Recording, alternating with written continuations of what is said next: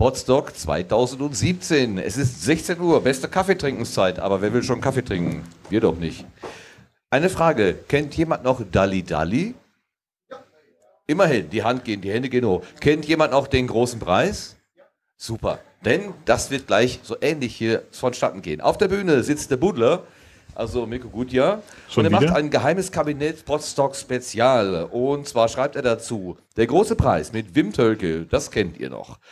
Ähm, aber auf der, auf der Basis von historischen Geschehnissen, die so abseits oder anzüglich sind, dass sie kaum je in ein Schulgeschichtsbuch kommen würden, bekommen vier Kandidatinnen aus dem Publikum die Möglichkeit, auf einer risikoähnlichen Ratewand Punkte zu sammeln. Die beste Unterhaltungsshow seit Spaß mit Flaggen. Viel Vergnügen mit Mirko Gutjahr. Ja, herzlich willkommen. Ähm, ich darf euch ganz herzlich beim ersten, wahrscheinlich einzigen ähm, Folge des Geheimkabinetts Potsdok Spezial 2017 begrüßen. Ich bräuchte gleich mal äh, vier Freiwillige. Äh, es gibt auch was Schönes zu gewinnen. Also ihr könnt euch auch nicht blamieren. Es ist alles, alles ziemlich easy bei mir hier. Ähm, einen Kandidat habe ich schon, schon vorhin gehört, das ist der Frank, der sich netterweise äh, äh, dazu bereit erklärt hat. Brauchst auch gar nicht bis hier vorne kommen, das heißt, du möchtest gerne, aber ähm, wir haben eigentlich auch ein Handmikro. Du brauchst immer nur zwischendurch mal deine, äh, wenn du dran bist, dann deine Frage zu beantworten. Gibt es denn noch weitere Freiwillige? Ich erkläre gleich auch das Spielprinzip. Ja, genau. Wunderbar. Zweiten, dritten, noch einen vierten brauchen wir. Auch gerne Frau, das ein bisschen äh, ausgeglichen ist. So viele Frauen anwesend. Ähm, ja? Würdest du? Nee, nicht. Noch ein vierter? Sonst müssen wir es auf drei um. Machen wir auf, sonst machen wir drei draus. Äh, vier, wunderbar, sehr schön. Haben wir vier Kandidaten, perfekt. Ähm, genau. Sagt mal schnell euren Namen. Das war einerseits. Halt, Moment, ja, genau. Wir fangen. Damit geht das Spiel los. Wollt ihr einfach vorne auf die Bank kommen?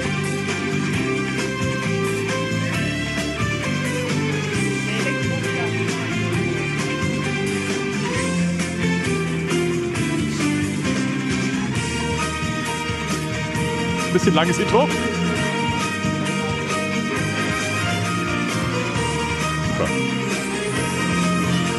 Funktionieren die? Sie tun es.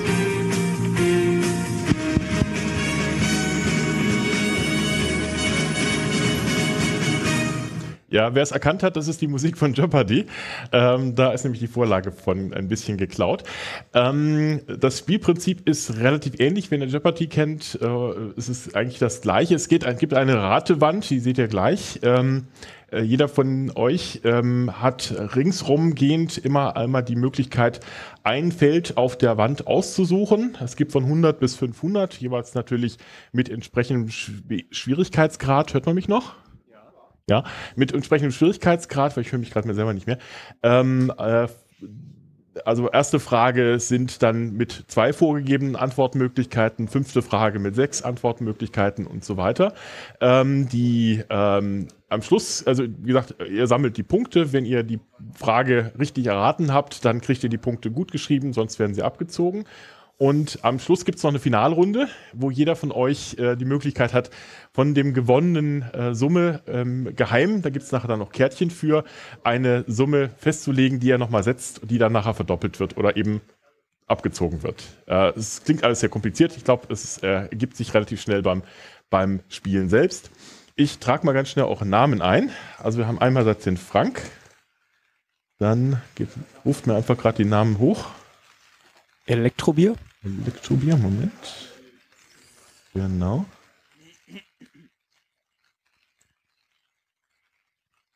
Ja, Christian? Christian. Äh, nicht V schreibt er sich nicht, ne? Christian ohne V. Und im vierten Kreis der Daniel. Daniel, genau. So, und schon geht's los. Ähm, baut sich die Ratewand auf. Und was natürlich jetzt noch fehlt, sind die Kategorien. Es gibt für jede der, der Reihen gibt es eine eigene Kategorie. Ich werde die euch jetzt gleich auch vorstellen. Und im Hintergrund die bekannte geheime Kabinettkategorie.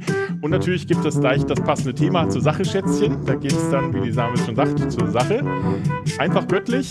ähm, Religion im weitesten Sinne, schräge Vögel, äh, besondere Exzentriker und andere Menschen, tierisches, der Name sagte schon, menschlich allzu menschliches, über ja, menschliche Dinge und Bon Appetit als letztes Essen, Trinken in weitester Form. So, Frank, du bist der Erste. Ähm, ich glaube, du musst doch das Ding entmuten. Wenn es nicht mehr leuchtet, müsste man dich hören. Ich kann das mal versuchen, aber ich glaube, man hört mich. Perfekt, man hört Ich höre mich ja. zumindest. Was darf sein? Ich nehme einfach göttlich äh, für 200. Einfach göttlich 200. Schauen wir, was sich dahinter verbirgt.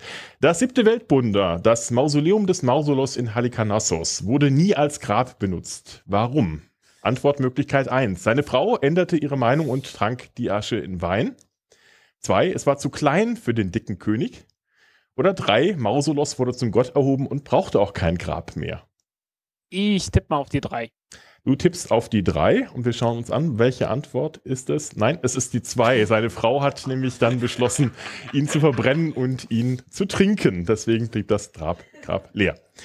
Schön, das heißt leider keine Punkte. Und äh, weiter geht's. Elektrobier. Ich mag schräge Vögel. Ich hätte gerne schräge Vögel für 100. Schräge Vögel 100. Wofür steht eigentlich das S im Namen des Präsidenten Harry S. Truman? Ist das für Superman oder nur für den Buchstaben? Ich gehe davon aus, dass Superman erst nachdem Truman geboren wurde erschien. Vermutlich wird es deshalb wie bei Homer J. Simpson einfach nur für den Buchstaben stehen. Ich nehme die 2. Und die Antwort lautet, du hast völlig recht, nämlich nur für den Buchstaben S. Die Vorfahren Trumans hatten nämlich alle, äh, alle Vornamen, die mit S begannen und seine Mutter wollte nicht, dass es einfach so weg wäre und deswegen, weil sie sich nicht für einen Namen entscheiden konnten, äh, haben sie einfach nur das Harry S. Truman äh, übernommen. Sehr schön, gibt 200 Punkte aufs Konto. Juhu. So, dann der Christian. So, es geht reihum. Genau, reihum. Achso, du Dann nehme ich einfach göttlich 400. Einfach göttlich 400. Ja, Papst Gregor VII. führte einen moralischen Feldzug gegen den Verfall der Kirche und verbot unter anderem was? Erstens Seilspringen, zweitens das Zeugen von Nachwuchs, drittens Kerzen, den Namen Gregor, viertens oder fünftens das Lesen in der Bibel. Ich schätze Kerzen. Du meinst Kerzen? Wir schauen uns die Antwort an. Nee, Bibel lesen. er glaubt nämlich, das führe nur zum Nachdenken und von dort sei es zur Ketzerei ein kleiner Schritt. Mag er recht haben. Muss leider Punkte abziehen. Okay, weiter geht's. Daniel, was darf sein? Ich nehme zur Sache Schätzchen für 200. Sache Schätzchen 200. Was ich noch vergessen habe, ihr dürft natürlich auch, auch äh, ihr dürft jeweils einen Publikumsjoker benutzen. Das heißt, ihr dürft einfach mal die Runde fragen und euch abstimmen, welche, Fra welche Antwortmöglichkeit es sein dürfte, wenn ihr wollt. Also einmal dürft ihr das jeweils machen. Entschuldigung, was heißt zur Sache Schätzchen 300? 200. 200, alles klar. Ja, wofür dienten eigentlich die erotischen Wandgemälde in der öffentlichen Badeanstalt in Pompeji? War das erstens Werbung für das Bordell nebenan? War das zweitens eine Erinnerungshilfe? Oder war es drittens ein Hinweis auf ein Verbot? Ich, ich weiß es nicht, aber ich vermute, es ist tatsächlich die Werbung für äh, das Bordell nebenan. Es ist das älteste Gewerbe der Welt. Bist du ganz sicher? Nein, aber ich nehme das jetzt. Du nimmst das jetzt, okay. Antwort 1 ist leider. Moment, da habe ich ja so was Schönes hier mitgebracht. Leider nein. Ähm, es ist tatsächlich eine Erinnerungsstütze. Äh, darunter befanden sich nämlich die Ablagen für die Kleidung. Und äh, da nicht alle Römer lesen und schreiben konnten, äh, konnten sich dann mit Hilfe der Sechsposition merken, äh, wo sie ihre Kleider gelassen hatten. So vermutet man das zumindest. Ähm, äh, das Lustige ist, dass die, die Positionen, die dargestellt werden, auch nicht den üblichen äh, Sexpraktiken entsprachen, sondern sozusagen eher zum Amüsement der Leute da war. Gut, müssen wir leider abziehen. Ich, ich hoffe, wir müssen nachher nicht mit negativen Punkten irgendwie. Das wäre dann ein bisschen schwierig. Okay, ähm, weiter geht's. Frank, Ich nehme Bon Appetit für 300. Bon Appetit für 300. Im Land der Bibel gab es früher keine Äpfel. Warum bissen Adam und Eva doch in einen? Erstens, das Rot des Apfels steht für die Sünde. Zweitens, Äpfel hielt man für ein Aphrodisiakum. Drittens, der erste Teil der Bibel stammt aus Mitteleuropa, wo es nämlich Äpfel gab. Oder viertens, die Namensgleichheit zum Wort für, für das Böse war der Grund dafür. Hm, ich glaube, also drei, die, die Äpfel kamen irgendwie aus Zentralasien, soweit ich weiß. Ähm, Namensgleichhaus, Namensgleichheiten oder Aphrodisiakum. Ich versuch's mal mit der zwei. Die zwei. Und die Antwort lautet. Vier, sorry. Ähm, es ist tatsächlich das Wort für böse und für Apfel heißt beides im lateinischen malum. Und deswegen hat man, ähm, obwohl es sich gar nicht um einen Apfel gehandelt hat, ähm, das gerne als Apfel dargestellt. Als kleines Zeichen dafür. Tut mir leid. Ähm, Schön schon, wir müssen. Trotz allem. Okay, ähm, ich sehe schon, die Fragen sind vielleicht ein bisschen heftig gewesen. Gut. Nee, finde ich nicht. Das müsst ihr jetzt gleich beweisen können, Ja. denn du nimmst Ich nämlich nehme, äh, ja, hat noch keiner menschliches, allzu menschliches. Menschliches, Für 200. 200. Als Queen Victoria, das der ist einfach, glaube ich, als Queen Victoria 1837 den Buckingham Palace bezog, gab es dort kein einziges, erstens Bett, zweitens Türschloss, drittens Badezimmer. Ähm, ich überlege gerade, ob man das mit der Sauberkeit damals nicht so gehalten hat. Ich habe Stories gehört im Geschichtsunterricht, wenn ich mich daran so erinnere, dass die Könige damals nicht gebadet haben und es alles ziemlich gerochen haben soll, aber ich glaube, das war noch ein paar Jahre davor. Betten wird's gegeben haben, Türschlösser. Ja, ähm, ja, die haben ja eigentlich Wachen. Ich nehme die zwei, das Türschloss. Du nimmst das Türschloss und warst knapp dran, das Badezimmer tatsächlich. Ähm, Die denn- Fragen sind doch zu schwer. Ich merk's ja. Denn äh, äh, Victoria hat dann viel einrichten lassen. Sie war recht fortschrittlich. Sie ist unter anderem auch eine Frühform des Wasserklosetts installieren. Also manchmal heißt es, sie hätte das erste Wasserklosett gehabt, aber äh, das stimmt nicht so ganz. Äh, es ist zwar mit Wasser spülbar gewesen, aber noch nicht die, die Form, die wir heute kennen. Gut, ähm, tut mir leid. Ich glaube, es geht nachher darum, wer, am wenigsten, wer, wer nachher am wenigsten verloren hat. Gut, ähm, dann der äh, Christian. Dann Bitte. bleiben wir in der Kategorie menschlich, allzu menschlich für 400. Für 400. Der Gullivers Reisenautor Jonathan Swift veröffentlichte 1733 eine Schrift worüber? Erstens Fäkalien, zweitens Impotenz, drittens Verwendung von amputierten Gliesmaßen, viertens über die Masturbation oder fünftens über Strip-Poker. Das Schlimme ist, eins davon ist wirklich wahr. Wahrscheinlich ist nicht das einfachste. Offensichtlichste. Was ist das Offensichtlichste? Also Fäkalien Ja. wäre irgendwie langweilig. Denn nicht alles gleichzeitig, also sondern immer nur eins, davon, wirklich nur eins davon.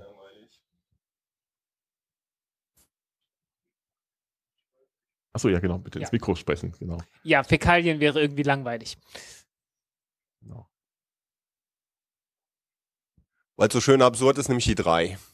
Die drei, ja. Es gibt so, so eine Tendenz, man nimmt gerne das längst, die längste, weil die ganz oft die richtige ist, aber ich muss mich leider enttäuschen, es ist die Eins. Und er hat dann auch ein schönes Pseudonym dafür gewählt. Er nannte sich nämlich Dr. Shit. Und das Buch hatte den schönen Titel Human Ordure, ähm, also menschliche Hinterlassenschaften. Dann hat er auch so daneben noch zwei Bücher über das Furzen geschrieben. Also ein Buch darüber zu schreiben, ist das eine. Ich habe mir auch schon gedacht, kriegt man zwei Bücher damit voll? Ich habe auch keine Ahnung, muss ich gestehen. Gut, ähm, weiter geht's. Der Daniel ist dran. Heute nicht auf den Timer drücken, sondern genau. Ähm, Was ich darf's sein? Äh, nehme tierisches für 300. Irisches für 300.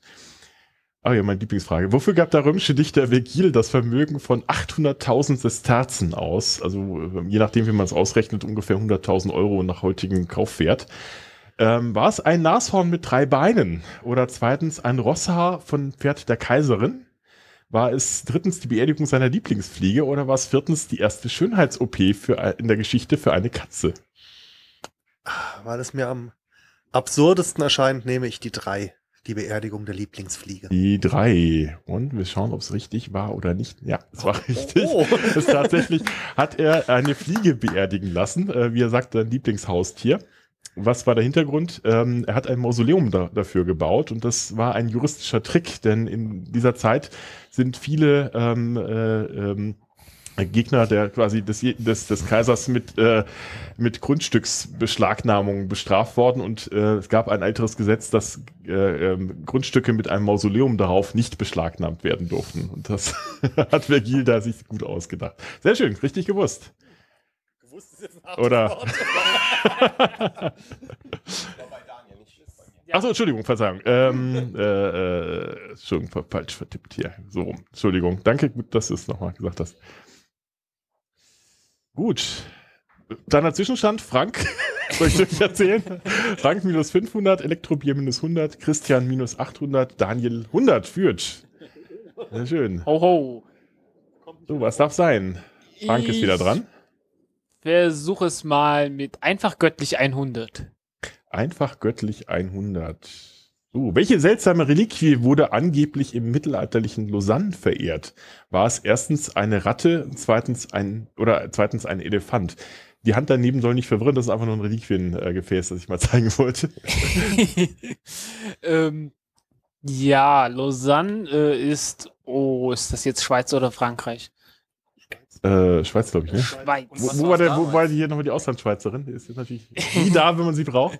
Ja, die große Frage ist natürlich, ähm, haben die den Elefanten verehrt, weil er von Hannibal dort äh, persönlich noch langgeführt wurde? Äh, ich versuch's mal mit der Ratte. Die Ratte. Antwort 1. Und das ist richtig. Ja! Eine Ratte, denn die hatte die geheiligten Holik äh, Hostiz Host Hostessen gegessen. Nein, die hat die heiligen ge geweihten Host äh, Hostien und Teile der Reliquien gefressen und galt nun selbst als heilig. Jedenfalls ähm, wurde die Geschichte so erzählt. Ob es stattgefunden hat oder nicht, da muss man immer ein bisschen vorsichtig sein, aber angeblich war das der Fall. Herzlichen Glückwunsch, die Frage war richtig. Und der Elektrobier ist wieder dran. Ja, ich mach mal Punkte. Ähm, ich hätte gern schräge Vögel 400. Schräge Vögel 400. Genau.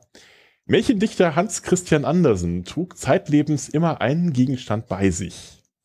Wohin er ging und stand. Ähm, und zwar war das erstens ein Seil oder war es zweitens die Erstausgabe des Kamasutra? War es drittens ein Kondom? War es viertens ein Schraubenzieher? Oder fünftens ein Fächer mit erotischen Motiven? Ich tendiere zum Kondom. Das Kondom? Ja, Schauen ja, ich nehme das Kondom. Ich Ja, glaube, die sicher. waren damals immer noch ein und dasselbe und das hat man dann halt gewaschen oder hoffentlich gewaschen und wieder verwendet. Nein, es war das Seil. Er hatte nämlich panische Angst vor Zimmerbrennen und hoffte, sich so jederzeit abseilen zu können. Übrigens hätte ich gestern beinahe auch noch die andere Frage gestellt, warum er, ähm, warum er nicht einschlief, ähm, ohne einen Zettel neben sich liegen zu haben. Ähm, das hatte er deswegen, weil er auch panische Angst vor ähm, lebendig begraben werden hatte und hat sich dann nebendran immer Zettel hingelegt mit der Aufschrift Ich bin nicht tot. Gut, leider nicht gewusst, tut mir leid. Ähm, oh, verdammt, ähm, jetzt muss ich das, was ich vorhin vergessen habe, abzuziehen. Was waren es? Ähm, 400, 400. ne? Dann sind wir bei minus 500, tut mir leid. Ähm, das ist, wenn man hier zu schnell klickt, dann ist das so. Perfekt.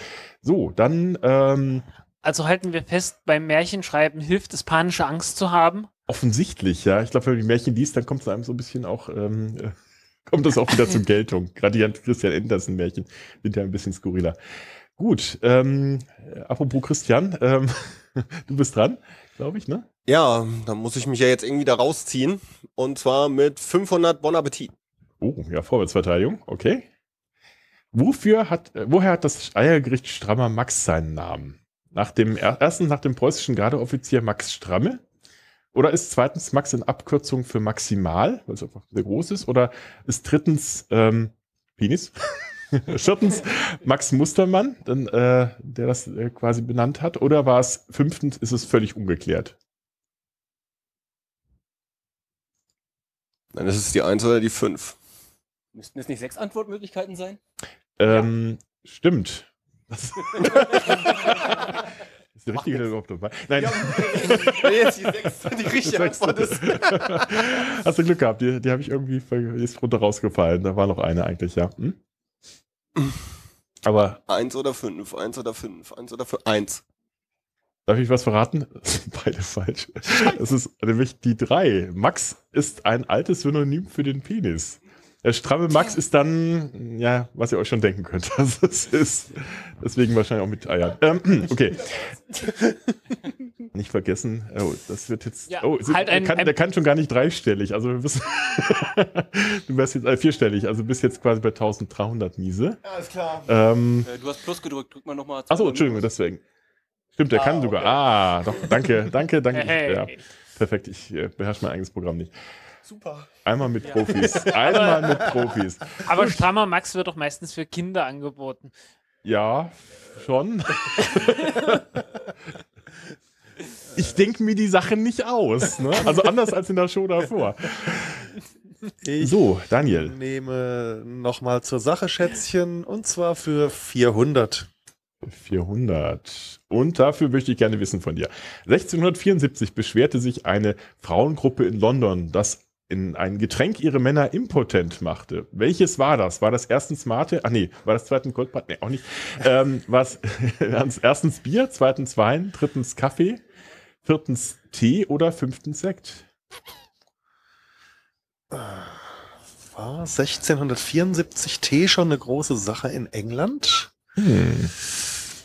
Es war sechs Jahre nach dem großen Brand von London. Das hilft aber, glaube ich, inhaltlich. Wurden bei Es diesem hilft- Brand es hilft ja, dass zubereitet? hast. Es hilft der Verwirrung. Ja, Der stimmt. Verwirrung bei, ja.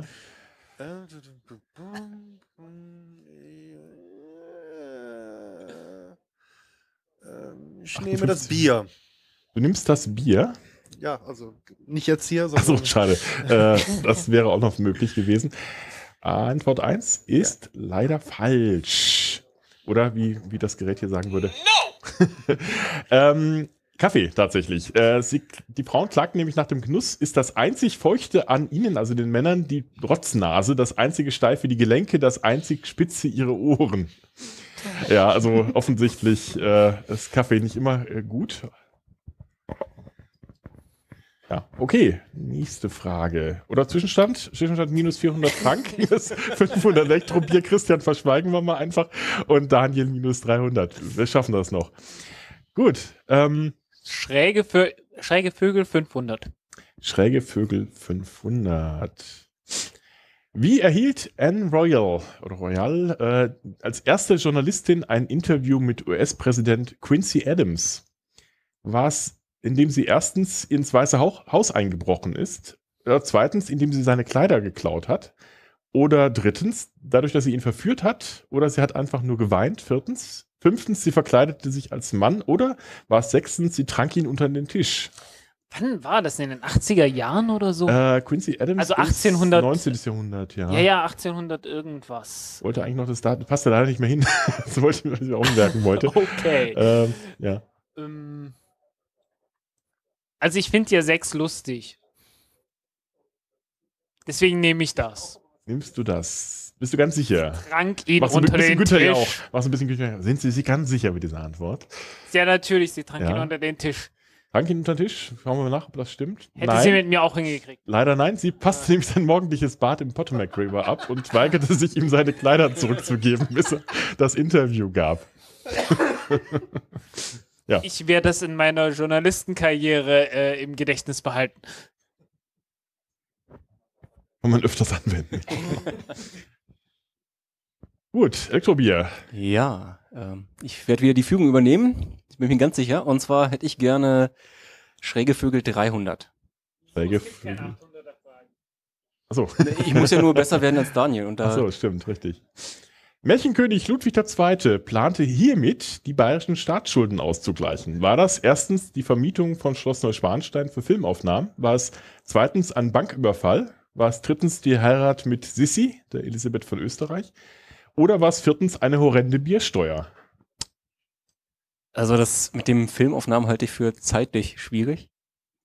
Banküberfall ist, glaube ich, auch relativ unsinnig. Ähm, ich schwanke zwischen der dritten und der vierten Variante.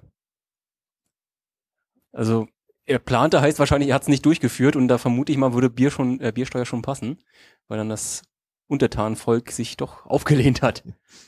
Ich nehme viertens die Biersteuer. Die Biersteuer. Und du wolltest dich ja ausgleichen? Und Absolut. Das, ja, hat leider nicht geklappt. Ähm, Mist. es war nicht der Banküberfall. Er hat tatsächlich geplant, ähm, äh, inkognito die Bank zu überfallen, um damit die Staatsschulden auszugleichen. Ein etwas komischer Plan, aber ähm, hätte wahrscheinlich auch nicht funktioniert. Tatsächlich war er mit der Schwester von Sissi äh, 1867 kurz verlobt für ein paar Monate, aber ähm, mit Sissi selber dann doch nicht. Ja, Filmaufnahmen dann leider doch knapp. Filmaufnahmen ein bisschen zu früh. Das war natürlich, äh, natürlich eine Finte. Äh, das war klar, dass das nicht geht. Kann ich wenigstens 100 Punkte dafür haben? Was meint ihr, Publikum? Nein, nein, nein, okay, nein. Sorry. Sorry. Okay. Weiter geht's mit Christian. Ja, ich muss ja da immer noch raus und dann versuche ich es mit einfach göttlich 500. Einfach göttlich 500. Welche dieser angeblichen Reliquien gab es nicht? Also, beziehungsweise, ähm, von dem man äh, sie ausstellte und sie als solche bezeichnet. War es die Vorhaut von Abraham? War es ein Strahl aus dem Stern Bethlehems? War es der Seufzer Josefs, als er sich bei der Arbeit auf den Daumen gehauen hatte? War es viertens das Ei vom Heiligen Geist oder es war es fünftens ein Halm vom Strohsack des Nepomuk? Heiliger Strohsack. Was ist mit Ei gemeint? Ähm, ein Ei von der, also der Heilige Geist ist ja als Taube dargestellt worden. Und äh, da könnte es natürlich auch ein Ei gegeben haben. Ich war ganz abwegig. Ja, ganz abwegig, genau. Christian, ne? Du hast auch noch einen Publikumsjoker. Nicht vergessen. Den hebe ich mir auf. Okay? Ich nehme den Säufer Josefs. Ist aber geraten. Josefs, ja, äh, es fiel heute schon mal, ich helfe ein bisschen helfen. Es fiel heute schon in der Kandidatenrunde ein guter Hinweis.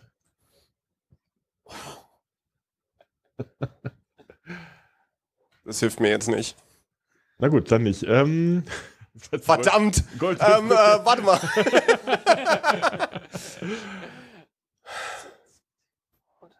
Also ich helfe mal so weit, dass es vielleicht das nicht ist. Ja, okay, das dachte Vielleicht, ich mir jetzt. vielleicht. Das, Vielleicht. das ist alles so absurd. Deswegen traue ich das jedem alle äh, 5D-Cache zu. Ich habe fünf gehört. Okay, fünf ist richtig. Ja, Äh, der- fünf, der fünf, Halm, Genau. Ja. Äh, das war nicht der, wie schon gesagt, der heilige Strohsack. Das war äh, doch eine offensichtliche Finte. Ähm, das gab sich der Rest tatsächlich als Reliquien verehrt und auch in den Kirchen ausgestellt. Super. So gut gewusst. Also die, Kaum also geholfen. Die, wow. oh, Entschuldigung. Also die, die Vorhaut, davon hat man schon gehört. Ja, die Vorhaut Christi, da habe ich auch schon mal eine Folge zu gemacht. Aber Ah. es gibt, die Vorhaut Abrahams war mir damals auch neu, als ich das äh, hier recherchiert habe. Okay, das sieht schon besser aus. Gut. Ich Daniel. Bon Appetit für 400. Bon Appetit 400. Oui. Ah, lala. Warum machte eine Packung Kaugummi 1974 Geschichte? Das könnte man sogar schon mal gehört haben. War es erstens, weil es ein Hauptindiz im Neuruppiner Mordfall gewesen ist? War es zweitens das erste Produkt, das einen Barcode hatte? War es drittens äh, deswegen, weil darin ein Mikrofon beim Watergate-Skandal versteckt gewesen war? War es viertens ein Werbeskandal um Muhammad Ali? Oder war es fünftens das wichtigste Schmuggelgut in die DDR? Äh, fünf könnte natürlich sein, aber ich meine tatsächlich schon mal irgendwas gehört zu haben und deswegen nehme ich die Eins. Die Eins. Die Eins. Sind Sie sich da ganz sicher? Ganz? Nö, natürlich nicht, aber äh, Also ich gebe noch fünf Sekunden. Hier. Drei. kriege ich den Umschlag und die, Drei, und die, die, die eins. 400 Euro, wenn ich Tor 3 nehme? ich bleibe bei der Eins. Was bei der Eins? Ja. Ja, ich hab's versucht. Ähm, es war tatsächlich die zwei. Es war das erste ähm, äh, Objekt, das jemals einen Barcode hatte und das man äh, an einer Registrierkasse gescannt hat. Eine Packung Wrigley's Kaugummi. Und die liegt heute noch im Smithsonian Museum in Washington. Samt Kasse? Des, nein, aber der, der, der Kaugummi samt, samt ähm, äh, äh, Zettel vom, vom, von der Kasse Ah, Okay. Der War das- Kaugummi benutzt oder unbenutzt? ausgestellt.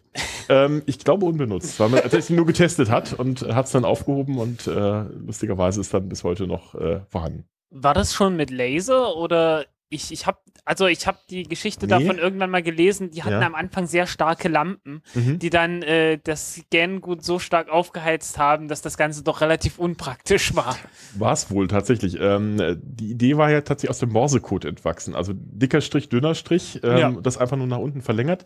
Angeblich hat der Erfinder das äh, entwickelt, als er, äh, da muss man unseren Arbeitgeber mal sagen, indem man nämlich ähm, am Strand äh, den Tag verbracht hat und dann einfach im Strand Striche gemalt hat und da fiel ihm auf, das wäre doch eigentlich eine super Idee für einen Registriercode.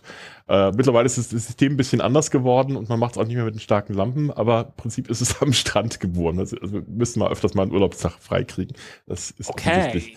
ganz hilfreich. Okay, äh, wer hat das gesagt? Du war Daniel, ne? Genau. Oh, jetzt bist du dreistellig, äh, vierstellig. Okay, schauen wir mal weiter. Der Frank ist jetzt wieder dran. Ich führe schon wieder, ist ja super. Ich nehme Bon Appetit 200. Bon Appetit 200. Bitte nicht die schräg. Das sind die schrägen Vögel gewesen, aber ich nehme sie. Achso, Entschuldigung, äh, Verzeihung, Verzeihung, falsch getippt. Ähm, äh, ja, gut. Äh, Thomas Birch, ähm, Bibliotheksleiter des British Museum im 19. Jahrhundert, hatte eine besondere Angelmethode. Welche? Erstens, er stand stundenlang als Baum verkleidet am Ufer.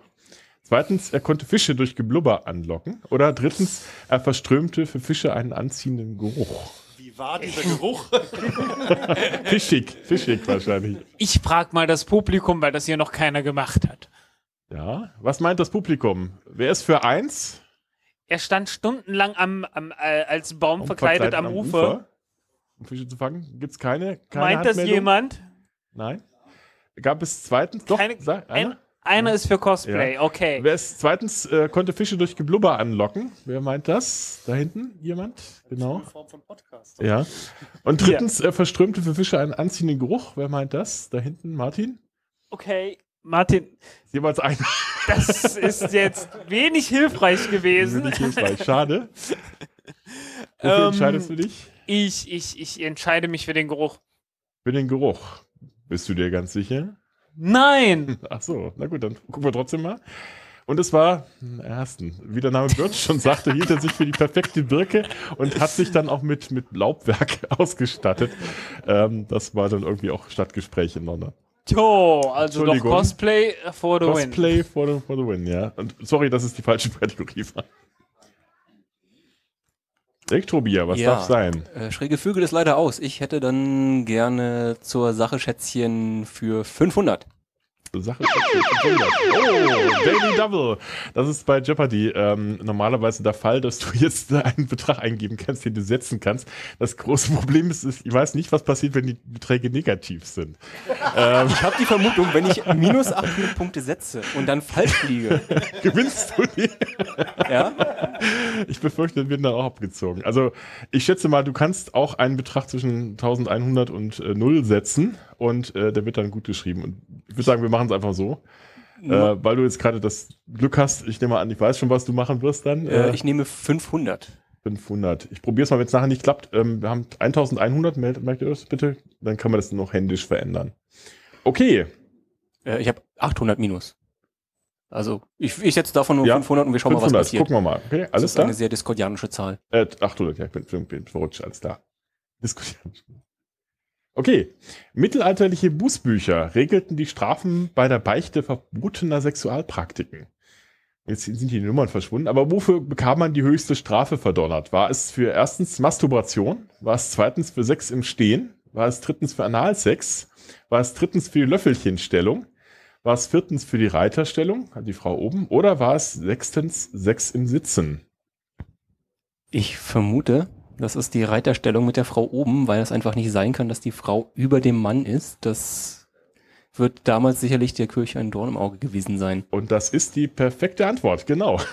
Dafür Yay. bekam man nämlich tatsächlich äh, eine Strafe von drei Jahren Wasser und Brot, also durfte man nichts anderes essen als das, verhängt und natürlich dann entsprechende Bußübungen. Bei allen anderen Übertretungen war es nun mal gerade 30 bis 40 Tage. Also klein, kleiner Unterschied zwischen drei Jahren und 30, 40 Tagen. Sehr schön. Gucken wir, ob es auch klappt. Mal schauen. Ja, es funktioniert. Sehr perfekt. Sehr schön. Damit Dann- führe ich jetzt wirklich. Dann führst du wirklich tatsächlich. Aber Christian kann sofort aufholen, wenn er möchte. Ja, ich bleibe einfach göttlich und nehme dann die 300.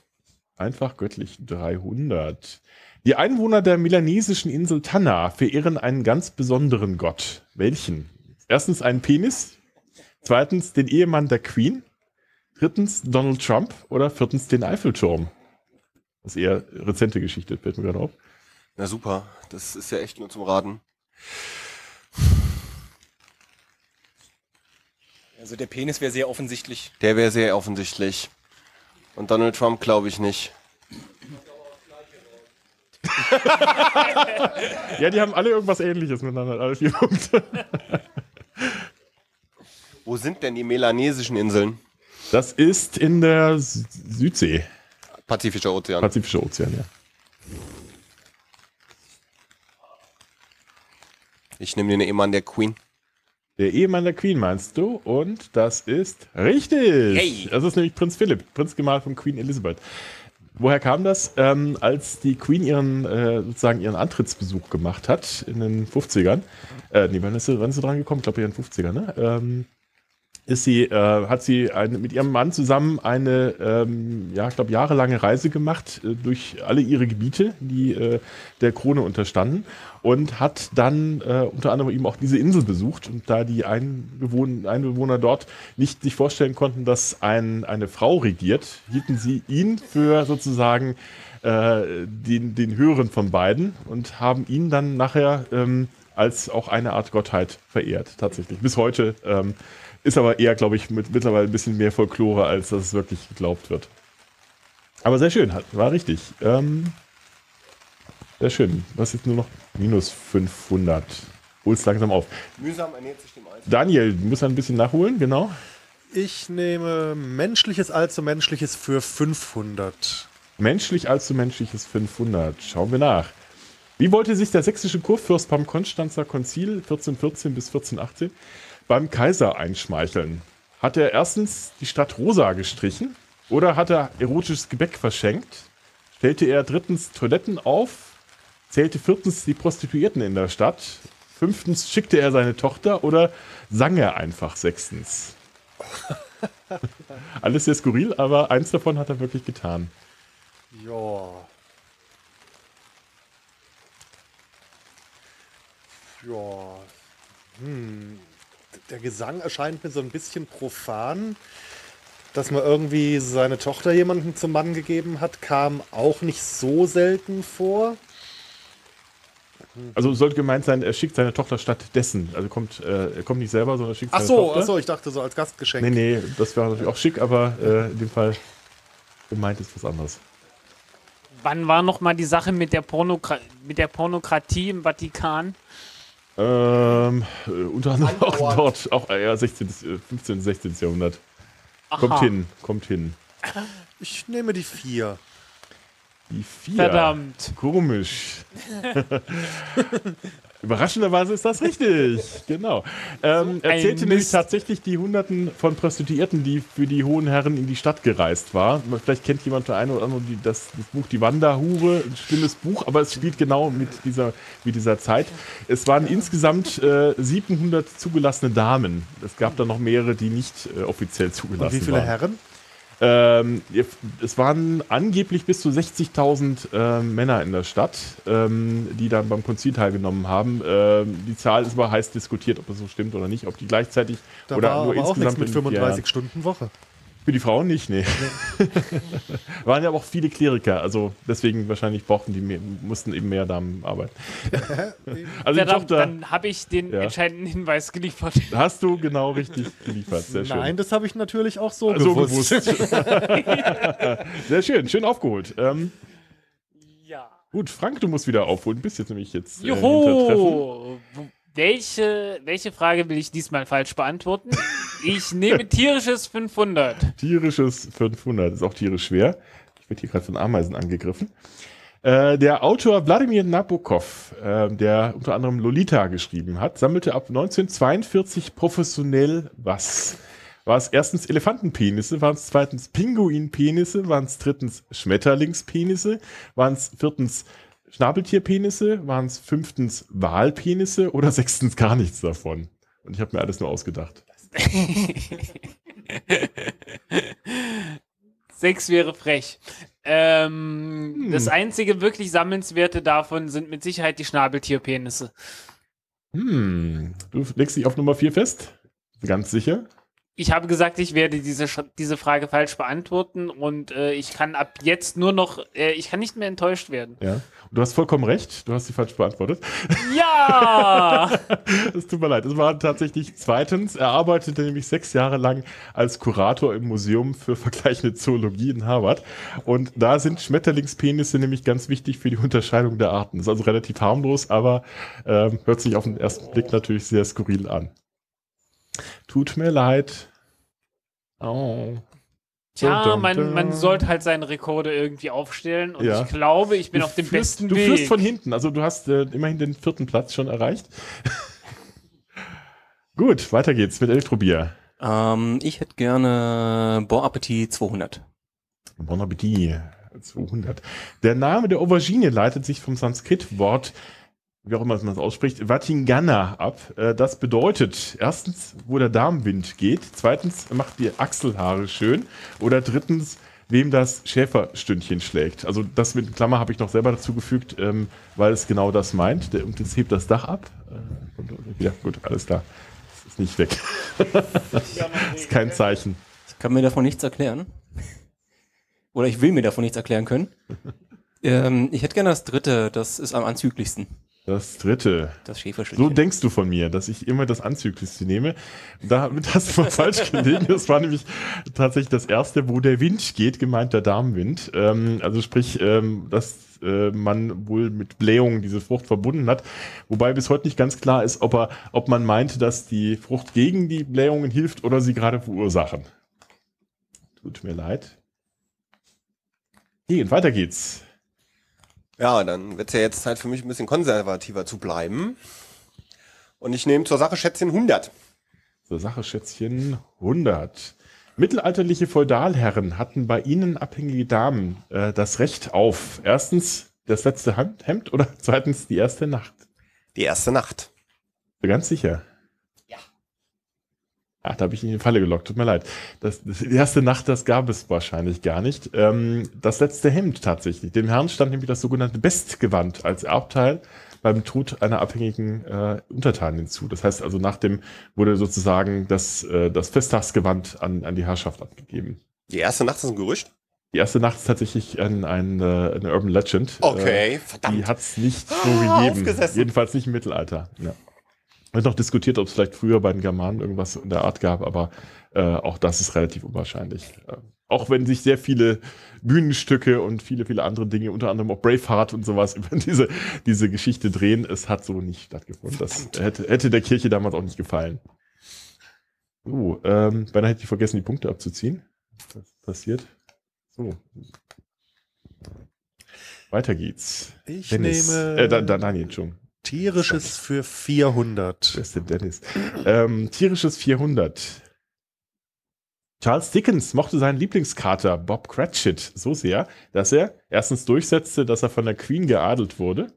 Oder war es zweitens, er machte aus der Pfote einen Brieföffner.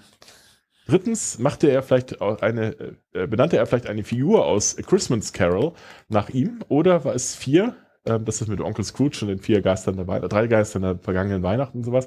Ähm, oder war es viertens, ähm, hat er ihn als Alleinerben eingesetzt? Oder stimmt vielleicht gar nichts davon? Ich habe ja alles wieder ausgesagt.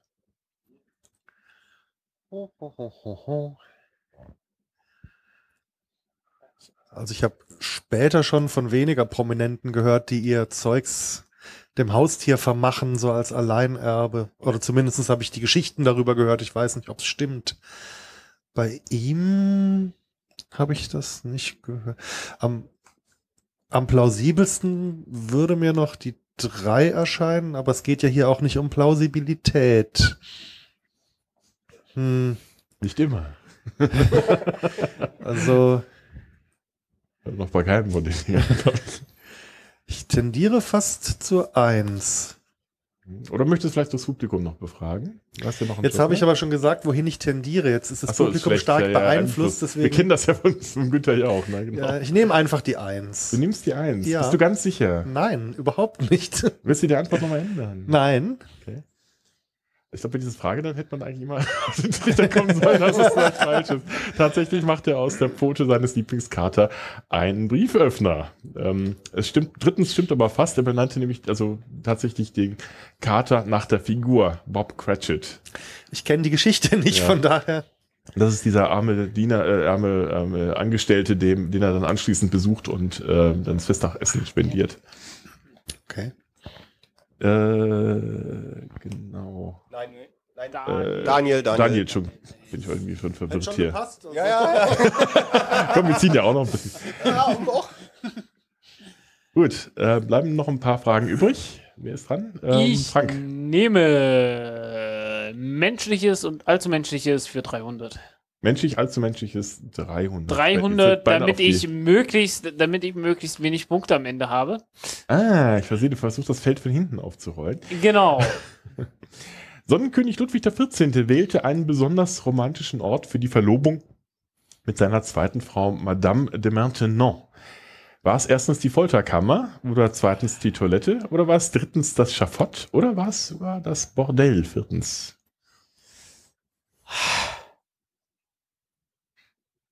Das Schafott wäre natürlich nett. Folterkammer kann man sich schon vergnügen, je nach Interessenlage. Ja, Je nach, je nach, ja, je nach Interessen. Veranlagung. Ja. Ich versuche trotzdem mal das Schafott. Das Schafott, die drei. Ja. Bist du ganz sicher? Nein, am Ende war es sowieso das Bordell. Kann sich noch umentscheiden. Ich bleib beim Schafott. Ist das Ja. alles absurd? Tut mir leid, das war die Toilette. Toilette.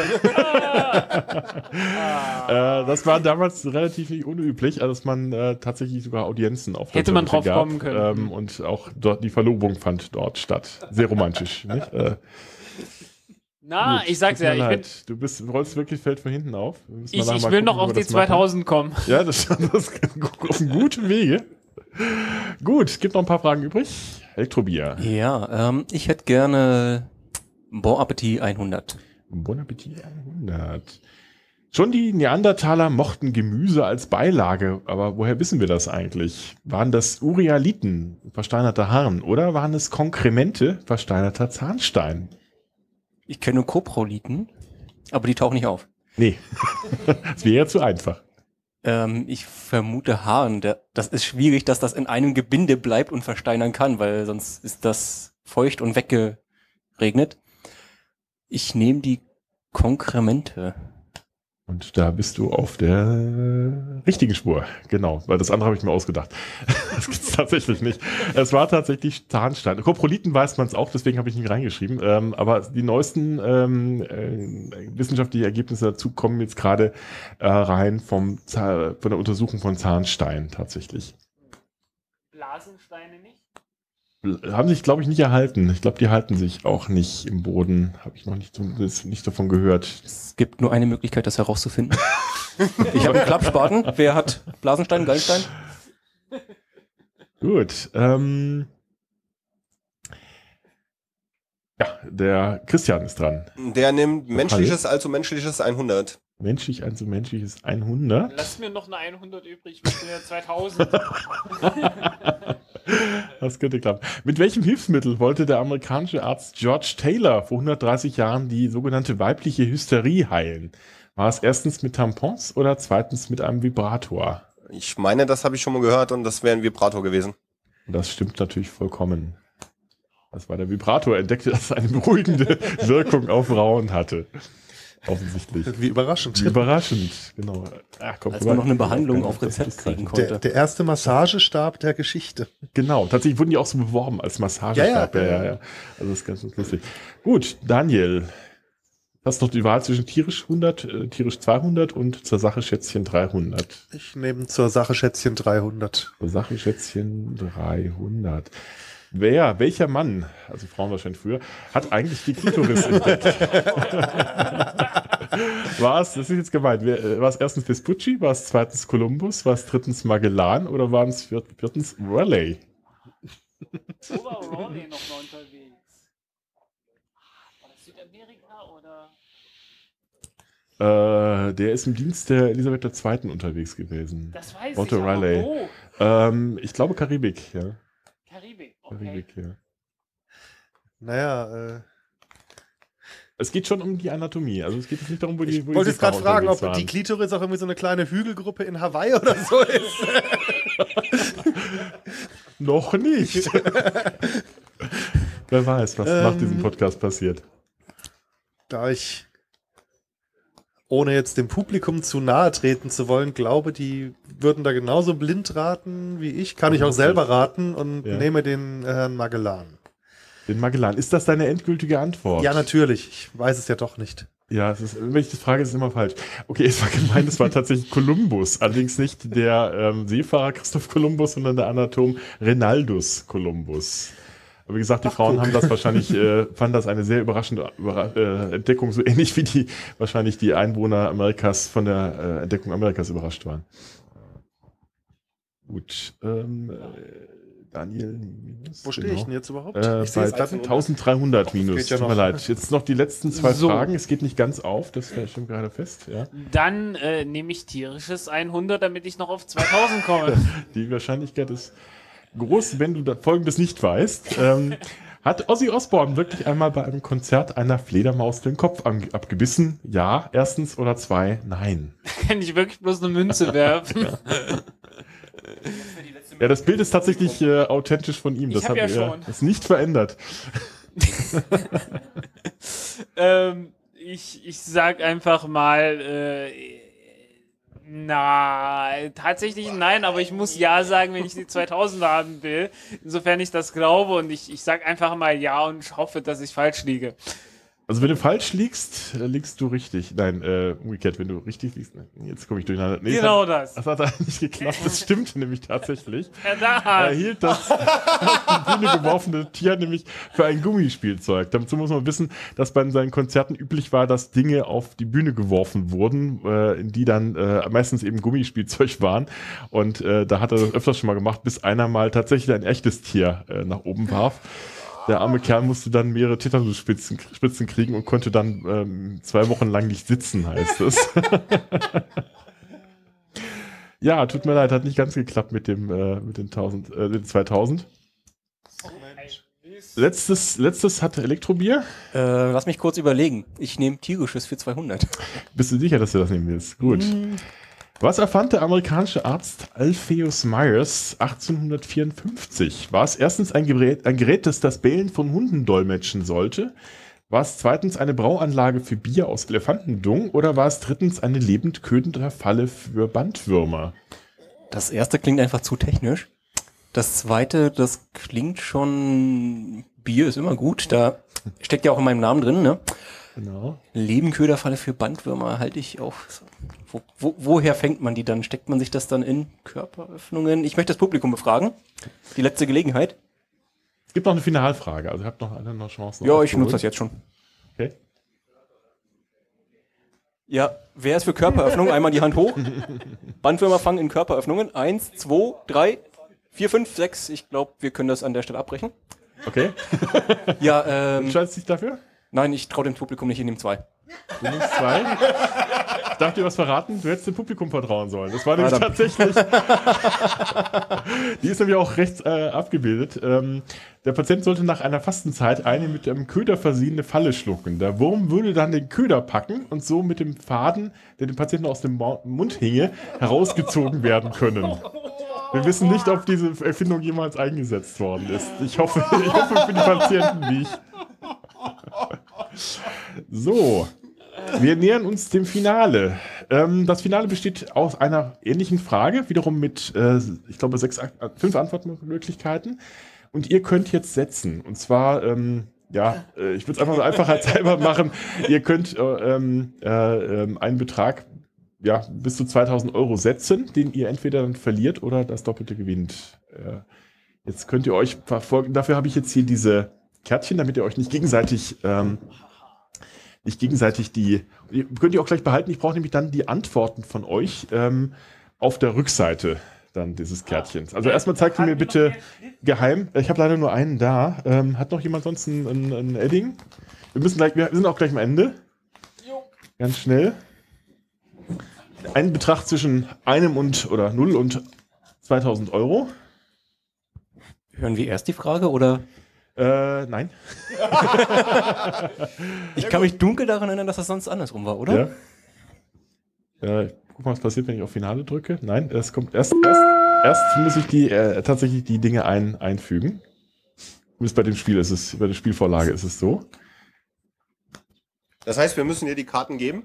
Du tragst das ein, dann kriegen wir die zurück. Ja, oder zeigt mir es ganz kurz, so dass ihr anders, äh, oder zeigt mir es einfach ganz kurz, weil dann kann ihr keiner mehr was verändern, wenn, wenn ihr es draufgeschrieben habt.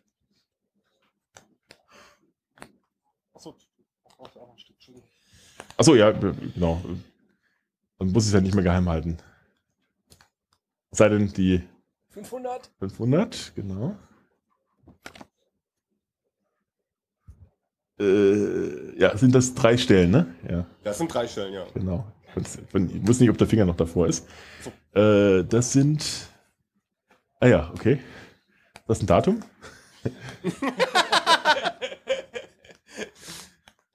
Und bei dir sind es. Ah, okay, verstehe. Das sind Daten. Okay, wir beginnen.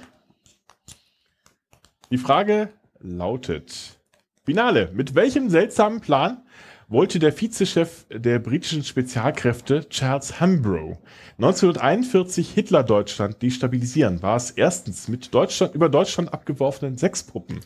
War es zweitens mit einem negativen Horoskop? War es drittens mit einer künstlich herbeigeführten Rattenplage oder war es viertens einfach mit Parfüm? Ihr habt genau 30 Sekunden Zeit, eure Antwort aufzuschreiben. Einfach die Nummer. Laut.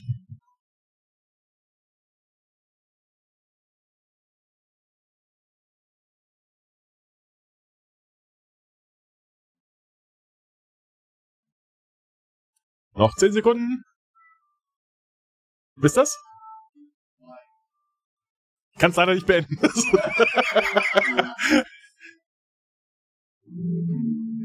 Sehr schön. Und die, was haben wir denn? Also die 4, die 1, die 2 und die 1. Wir schauen uns, was die Antwort ist. Ich lag gerade daneben. Tut mir leid. Denn es ist die 2 mit einem Horoskop, das den Tod Hitlers für 1902. Oh, du hast die 2. Hey, Entschuldigung. Genau, der Christian hat's richtig. Perfekt. Ähm, der nämlich den Tod Hitlers für 42 voraussagte, dieses Horoskop sollte in Deutschland in Zeitschriften eingeschmuggelt werden. Doch der ähm, kurz zuvor erfolgte astrologisch, angeblich astrologisch motivierte Flug von Rudolf Hess nach England von 1941 führte dazu, dass Hitler ab sofort alle Astrologie ablehnte. Das hätte also nicht funktioniert wie so viele Pläne, die man gegen Hitler geschmiedet hat. Es gab ja unter anderem auch den Versuch, sein Essen mit Hormonen, weiblichen Östrogenen zu versetzen, ähm, damit äh, seine Entscheidungen möglichst weiblicher werden und er vielleicht dann von einem Krieg absieht. Hat nicht geklappt, weil man gar nicht an die, an die Vorkost daran gekommen ist. Christian hat's gewusst, bei den anderen muss ich es abziehen und dann lautet das Endergebnis. Oh, Frank. äh, wir fangen von hinten an. Frank äh, führt von hinten das Feld von. das Falsche eingegeben. Das musste hinten eine 3 sein oder wird das gerundet? Äh, ich glaube, das wird gerundet, kann sein. Das ist, Ach, Mist. Entschuldigung. Ich wollte minus Ähm, 2333 haben. ach so. ach so, es wird, glaube ich, nur einfach abgezogen, nicht doppelt. Ähm, pass auf, wir können das noch ändern. Äh, ja, geht leider nicht mehr. Also, wir sagen einfach, es sind minus 3333. Jetzt verstehe ich auch die Zahl. Ähm, dann folgt Daniel mit minus 2300, dann äh, Elektrobier mit 1100 und es führt mit negativ 400 Punkten. äh, damit quasi der Tagessieger. Ähm, der Christian. Yay. Und ich äh, danke fürs Zuschauen, fürs Zuhören. Es gibt natürlich auch Preise. Christian? Darf dir eine Flasche Lutherwein überreichen? Viel Spaß beim Trinken und für die, für die ähm, Mitspieler habe ich natürlich auch noch was. Ihr kriegt jeweils noch ein, äh, zwei von den, von den Thesen. Nicht an Wände werfen, das ist schon mal schief gegangen. Wohl bekommst, vielen Dank fürs Zuhören, Zuschauen und vielleicht bis zum nächsten Mal beim